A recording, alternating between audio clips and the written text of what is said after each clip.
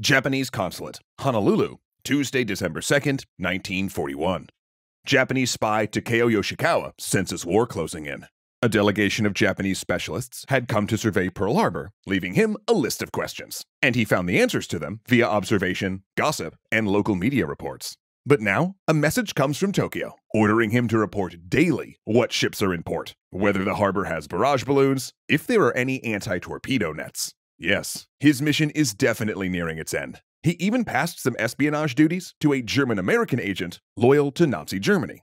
Still, each day he listens to the weather report on Radio Tokyo, waiting to hear the specific words East wind, rain.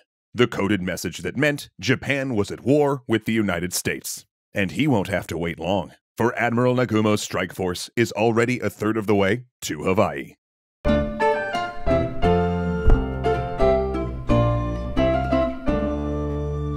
Thanks so much to Factor for keeping us well fed on a busy schedule. Wednesday, December 3rd, the Oval Office. Roosevelt has been meeting regularly with Navy leadership. Japanese fleets are moving into Southeast Asia, but no one knows what the target is. One group of six carriers has simply disappeared. The general consensus is that Japan will strike Malaya, Hong Kong, or the Dutch East Indies within days. Some even fear that they're planning a surprise attack on the Philippines, though that's a minority opinion. Roosevelt then meets with the British ambassador and finally gives him the answer he's been begging for. If Japan attacks British or Dutch territory, America will support their fight. Later that day, Stanley Jones, an old friend of Roosevelt and a missionary to Japan, visits him, and in his pocket is one last gambit for peace, cooked up by Ambassador Nomura and Special Envoy Kurusu, using Jones to get around the increasingly hostile Cordell Hull.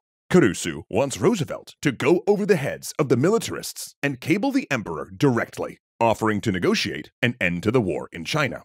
Hull dislikes this idea. The FBI has reported smoke at the Japanese embassy. They're already burning documents. War could start any minute. Though, after considering, Roosevelt decides he will send the cable. One last chance at peace. And if he had sent it that day, it might have arrived in time to make a difference.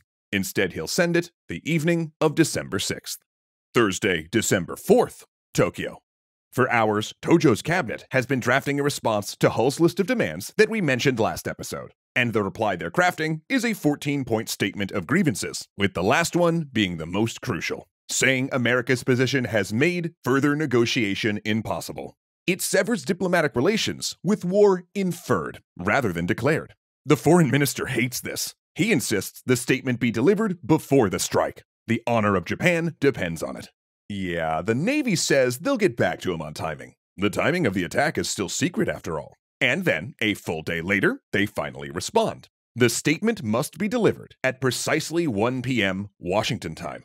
They also say the foreign ministry should wait and send the 14th part, the one breaking off relations, until just hours before the attack. Saturday, December 6th, Washington. Dorothy Edgers is a Japanese translator in the Navy's cryptographic section and is working the weekend to catch up on magic intercepts. The program is understaffed, subject to Army Navy turf battles, and frankly, intercepts more than they can decode and translate. Now, there's some low priority messages out of Honolulu that need seeing to. Of course, those communications are probably mostly commercial rather than diplomatic, but she's not one to let things stack up. She sees one from December 2nd, where Tokyo asks about barrage balloons and torpedo nets, then a reply the next day about a German agent in Hawaii. Huh. But when the head of the translation section, Lieutenant Commander Alvin D. Kramer, arrives that afternoon, he isn't alarmed. Edgers is new to this work. He's seen stuff like this before. Japanese consulates monitor ship traffic at every port. He mostly nitpicks her rough translation, then decides it isn't good enough to pass on. Go enjoy your weekend, he says. We'll finish this up on Monday. Meanwhile, across town at the Japanese embassy, the first 13 parts of the statement start to come in.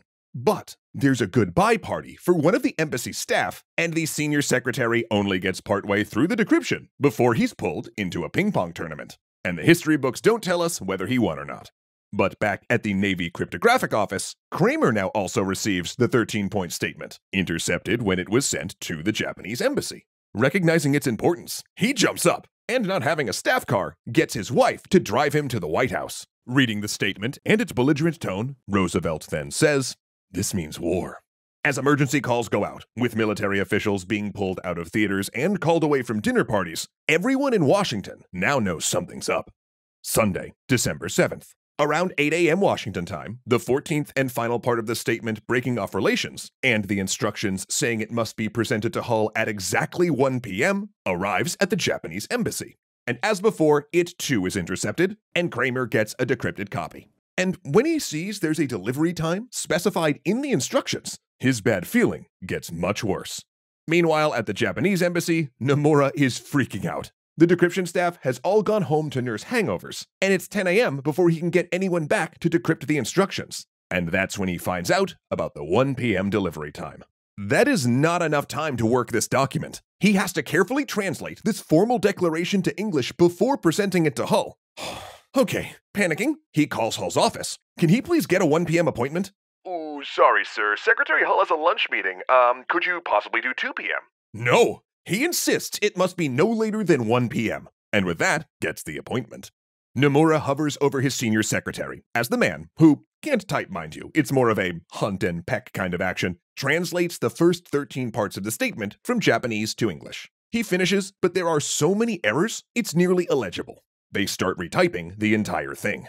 Meanwhile, American leaders are frantic over the possible significance of the 1 p.m. delivery of that last ominous message.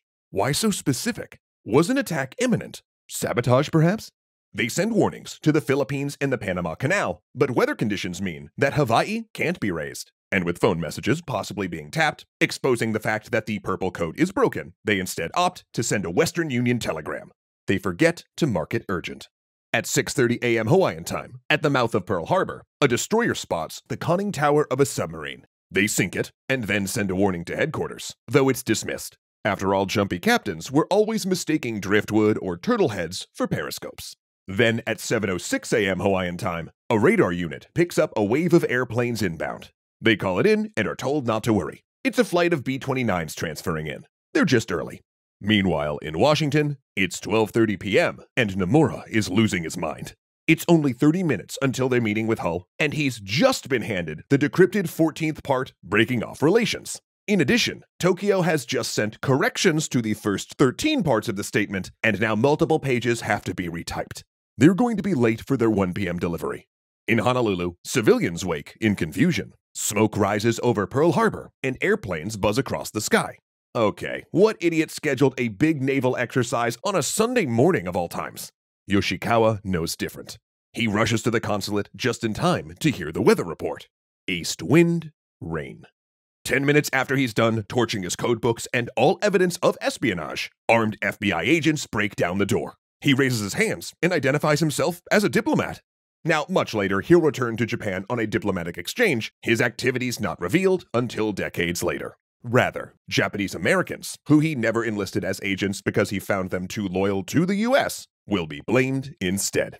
Washington, 2:20 p.m.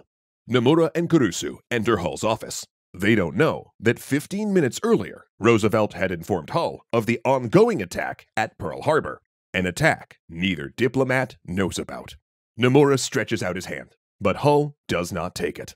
Instead, he flips through the 14 point statement and icily asks why it had to be delivered at 1 p.m. Nomura, apologizing for being late, says he doesn't know. And it's at this point that Hull launches into Nomura. In all of their dealings, he says, he's always been honest and straightforward. And you know, he'd hoped Nomura did the same. Yet now, here, he brings this statement full of lies and distortions. Then, Hull dismisses them. Nomura, still confused, reaches out his hand to shake once more. This time, Hull accepts. Then they exit the office into a mob of press. The next day, Roosevelt would use their late delivery of the statement as part of his Day of Infamy speech. A speech that created a clean, righteous narrative out of the complicated, multi decade breakdown of American Japanese relations. A story that began in the 19th century as two Pacific empires took their first tentative steps towards each other in a dance of imperial cooperation and collision, and a story that would be burned into the popular consciousness under three powerful words Remember Pearl Harbor. Ah, Zozo, another completed history series for the extra history books. Say, when exactly do we have to start work on the next patron voted topic of, uh, ooh, Frederick the Great, that's it. Oh man, that does not leave a lot of time to make a healthy dinner.